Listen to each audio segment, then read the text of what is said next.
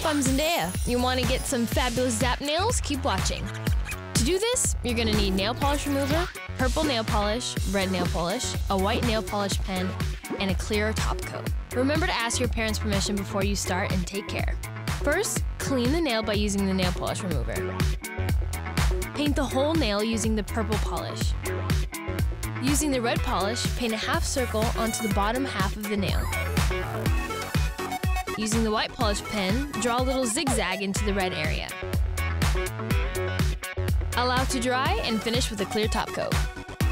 Don't they look great? Hey, make sure you check out Zapped only on Disney Channel. And for even more nail designs, visit the Disney Channel website.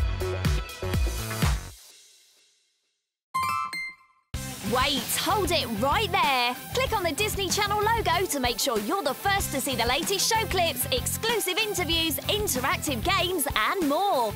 Or for more great shows, click on the left or right box. Thanks for watching Disney Channel on YouTube.